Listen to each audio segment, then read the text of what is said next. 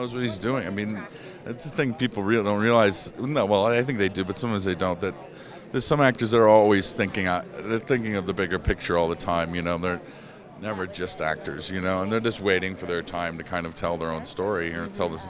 And that's John. You know, he, I think a long time ago he wanted to do this, so it's he's been carrying around for a while. So. I was just lucky enough to, to jump on his, his passion bandwagon, you know, and Yeah, it looks like you're going to be spending a lot of time with Christina Hendricks here as well in the film. Um, uh, as an as an actress, what was it like working with her in the confines of her mourning the loss of her son? It sounds like a, a, a bag of laughs. Well, yeah, it's not that simple, you know, because it's not just more. She's all. Just the realization of how maybe how she sees me and how she feels about me. There's a lot that goes down out of this, you know, murder. You know that uh,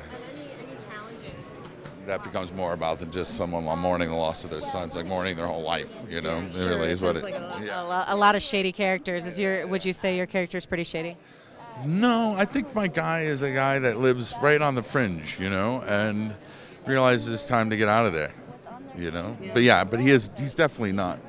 He's crooked, you know, but uh, but he's a really human guy. He's a very he's a guy that you know he doesn't come first, and I think he realizes that he needs to come first. And then, yeah, yeah, yeah, it's a bummer. Um, how, yeah. do- how does this um, role scratch an itch for you? I'm sure you get a lot of different kind of uh, scripts in your hands, but what what does this do for you? Well, it's a film about a, a man. It's a film about you know an adult man who's faced with a, an adult decision ultimately, and he and he grows up. You know, uh, it's not about adolescence. It's not about you know what I mean. Yeah. It's about a guy who's got to deal with being an adult. You know, and it's hard Yeah. because he's he's living in a world that's that's it's not it's pretty shady. You know, and he's got to he grows up. Yeah. You know. What Yeah. else is coming up for you in 2014? Just Hunger Games. Hunger This Games. little film, this that little, that little, little indie, franchise. right? yeah. You look like you had a lot of fun with it. Yeah, no, they're good. Good people.